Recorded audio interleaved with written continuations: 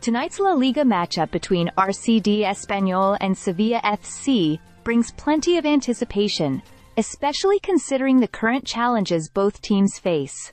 Both clubs enter the match with recent defeats, aiming to regain momentum and stability. Espanyol, coming off a 4-1 loss to Athletic Bilbao, will be looking to capitalize on their solid home record at RCDE Stadium, where they've collected 9 out of their 10 points this season. Sevilla also seeks recovery after a tough 5-1 loss to Barcelona, making this face-off pivotal for both teams.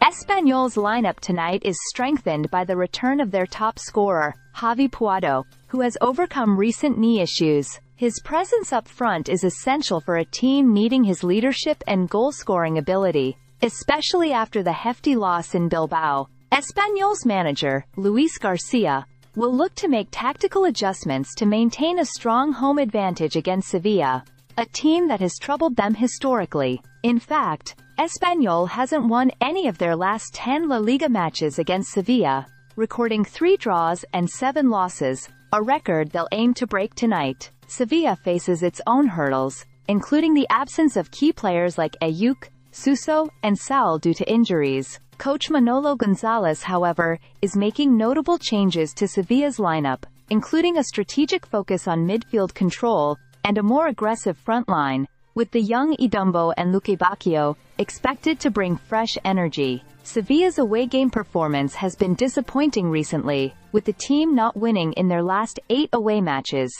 Another loss tonight would mark their worst streak in away games in five years, so the stakes are high.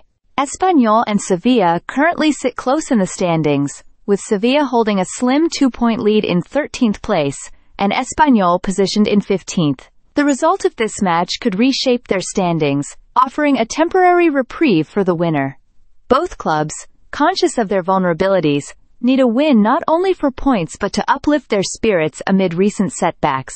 The kickoff promises a gripping clash, where each side's resilience will be put to the test in the quest for a crucial victory in this early La Liga season.